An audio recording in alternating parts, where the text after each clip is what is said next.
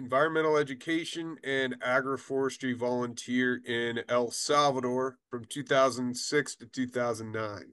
My whole Peace Corps experience is what led me the work that I'm doing now in Puerto Rico, coffee production, implementing climate smart practices, adult education, technical assistance, financial assistance, quantifying the greenhouse gas emissions to tap into scope three carbon emissions markets, international projects, Dominican Republic, El Salvador, Central America in general, improving production systems that are environmentally friendly, better quality, food safety, higher quality markets. I'm working in climate change here in Puerto Rico.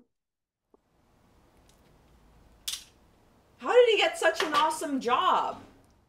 The jobs that I, were, I was applying for were looking for the skill sets and experience that I had from Peace Corps. They were looking for the language skills, the environmental technical skills with farmers and school children, lower cost technologies, things that would help improve their production be more sustainable, locally sourced fertilizers, composting, worm farming, recycling. I still come across people who haven't heard of Peace Corps.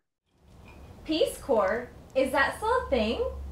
Peace Corps is a great opportunity for youth. There's a lot of opportunities from the for when they come back. Some of my longer term friends, they got to where they are because of Peace Corps.